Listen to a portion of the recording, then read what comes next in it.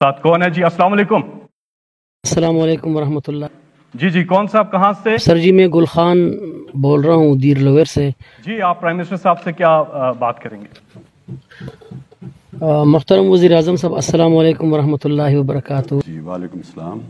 उम्मीद है आपकी सेहत ठीक होगी। सर जी आ, मैंने आपकी पार्टी को वोट भी दिया था हमने आपको चंदा भी दिया था और मैं खसूसी तौर पर सऊदी अरब से आया था आपके वोट देने के लिए। तो माशाल्लाह बहुत अच्छा जा रहा है सब कुछ।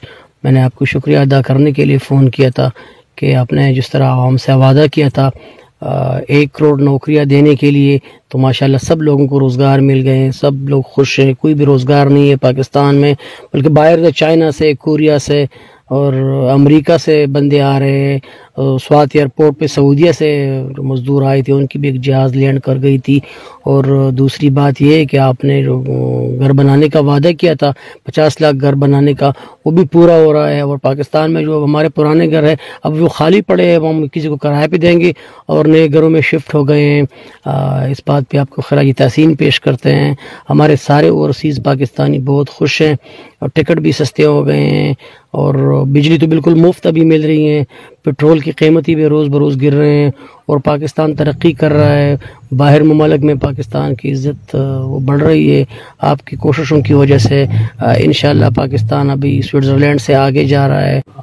आ, सर जी दूसरी बात ये है कि आपने जो मुर्गियाँ हमें भिजवाई थी उन मुर्गियों ने माशाल्लाह अंडे शुरू किए हैं और बाज़ मुर्गियाँ तो खुशी की हमारे दिन में दो दो दफ़ा अंडे दे रहे हैं और जो डैम्स 350 डैम बन गए हैं और एग्रीकल्चर ने तरक्की की है।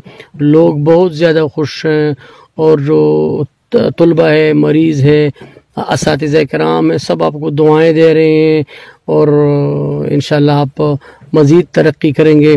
पाकिस्तानी कौम के लिए इन अब हमने सुना है कि आप चाँद पर भी कोई मिशन मिशन भेज रहे हैं और वहाँ पे कॉलोनियाँ बनाएँगे पाकिस्तानियों के और आपकी पॉलिसीज़ की वजह से महँगाई तो बिल्कुल कम हो गई है।